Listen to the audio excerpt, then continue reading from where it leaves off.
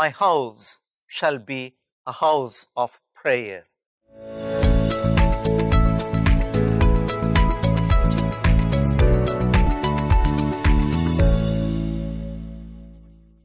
My dear brothers and sisters, in St. Luke's Gospel, chapter 19, verse 46, we come across a very, very relevant as well as a message which is applicable in many, many churches.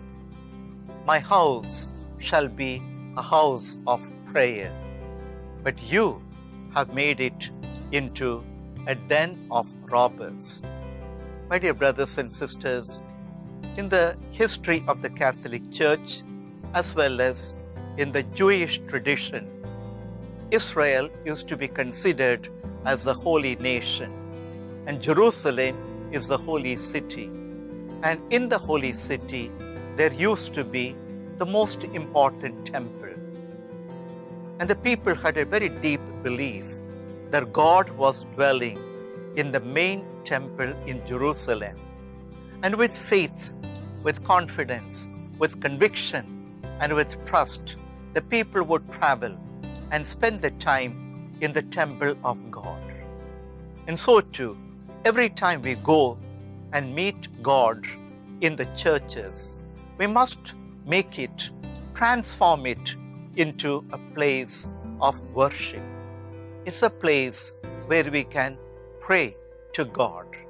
And there are four different ways that we can pray. The first way that we can pray is through adoration.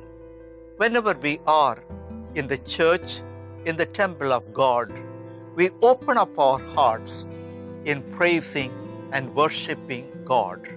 God who has done wonderful things, marvelous things for each and every one of us. And the second way of praying is contrition, to feel sorry for the sins that we have committed, knowingly or unknowingly, for the many mistakes that we have done, the ways that we have gone against God and against one another. Now is the time as we spend before God, we feel, we manifest our sorrow or contrite of heart.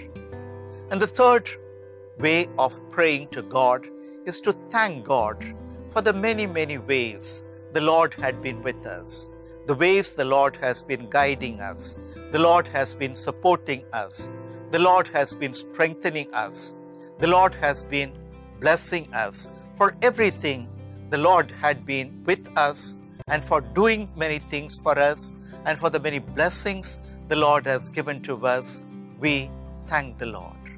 And the fourth way of praying to God is presenting our petitions to the Lord. And as we open up our hearts and present our needs, our wants in the form of prayer, the Lord would indeed answer our prayers. And the four different types of prayer, simply said as acts A, C, T, S.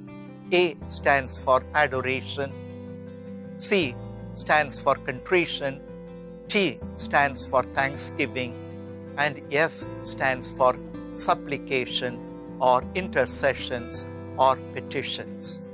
Let us pray to God that the Lord may help each and every one of us to open up our hearts in prayer and thus spend time before God in prayer.